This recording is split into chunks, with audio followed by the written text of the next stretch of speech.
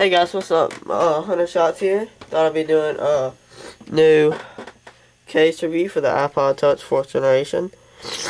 So, let's get started. This is uh, another OtterBox. It is the OtterBox Commuter, I think. Yeah, Commuter. All black.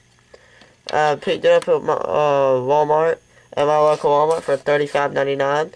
So you can go check that out uh, way cheaper than the, um, or not way cheaper, but, um, cheaper than the, the Fender case review I just did. If you hadn't seen that video, you gotta check that one out, guys. Real good video.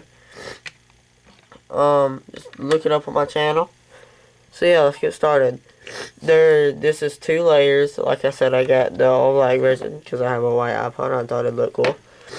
So let's get on how to put it on. First, you take this and put it on just like you would in any normal case. Pull it over all the sides. Make sure everything's on good. Yeah, it's just what it should look like with that thing on the back. You take this, but this is the hard part. Push it over the top. Hold on. Yeah, push it over the top. And then just push on the corners and sides it it is sort of hard. You gotta get them good. You gotta get them all the way down. Just push at the corners until you can get it.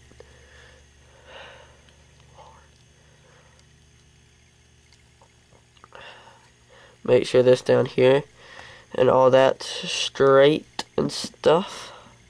Pull them out, push them back in, just make sure they're straight. I do have trouble getting the headphone one to stay in all the way, but I mean, it doesn't really matter. I'm usually listening to music on it anyway. So that's what it looks like. Does not have a built-in screen protector. That's been it for today, guys. Don't forget to rate, comment, and subscribe. Sorry, guys. Don't forget to rate, comment, and subscribe. Peace.